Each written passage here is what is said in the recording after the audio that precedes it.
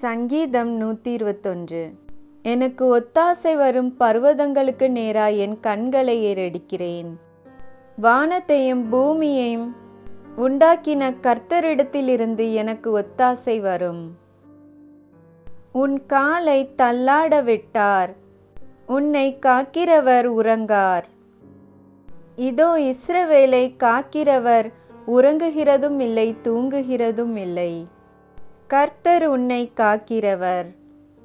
கர்த்தர் உன் வலது பக்கத்திலே உனக்கு நிழலாயிருக்கிறார்.